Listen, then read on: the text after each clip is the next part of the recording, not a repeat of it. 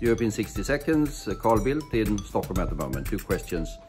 How has NATO changed during the 70 years of its existence? Well, uh, rather fundamentally, it was originally, of course, a question of sort of deterring uh, Soviet aggression and making the possibility for Germany to come back as also military power for the defense of Europe.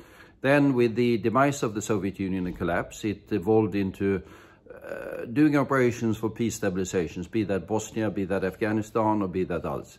And then lately, of course, we've seen the basic demands of deterrence and territorial defense coming back very much after Russian aggression against Ukraine. So it's been a, a long journey. Second question, what will we watch for at the NATO summit in London? Well, I fear it's going to be a question of Trump management to make certain that things are not completely derailed by the one thing or the other.